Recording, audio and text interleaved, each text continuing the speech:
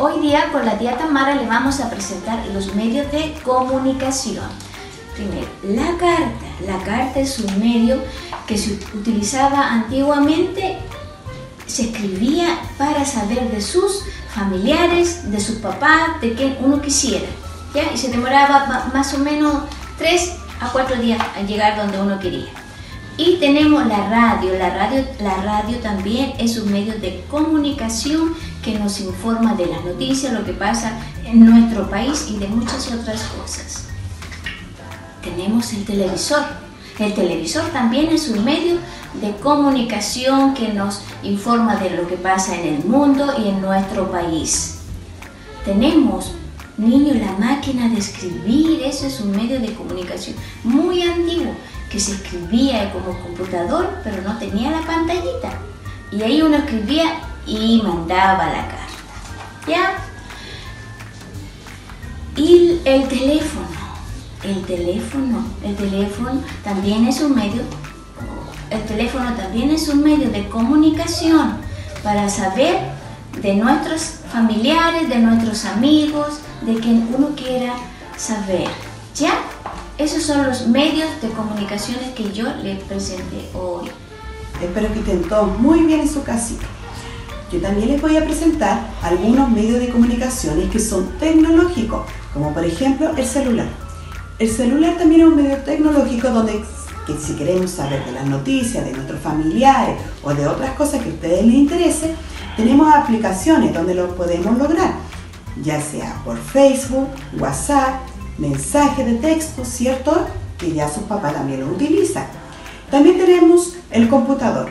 El computador también es un medio tecnológico donde podemos lograr ver noticias, saber de familiares, ver el clima, el deporte, ¿cierto? También está la revista. La revista no es un medio tecnológico, pero sí también nos ayuda a saber de algunos datos importantes que queramos saber y también puede salir algunas noticias, ya sea de otros países o de muchas otras cosas. También está el Internet. El Internet también nos, facilita mucho para saber lo que queremos saber. Y para esto podemos utilizar los medios tecnológicos. ¿Ya? Y había uno muy antiguamente, que era el fax. El fax era un medio antiguo ya, que muy poco se está utilizando, que era donde yo mandaba documentos importantes de un lugar a otro, ¿ya? Muy parecido al Gmail. Ya niños, los quiero invitar a que hagamos unos juegos, ¿ya? Vamos a buscar el medio de comunicación que está escondido. Vamos a ver.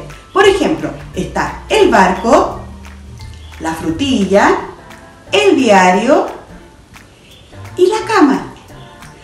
¿Cuál de todo ello es un medio de comunicación? A ver, pensemos. Mm, ¿Cuál será? Sí, niño,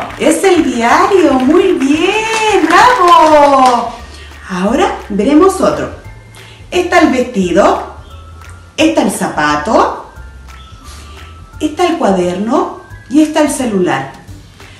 ¿Cuál de ellos es el objeto tecnológico de comunicación? Pensemos.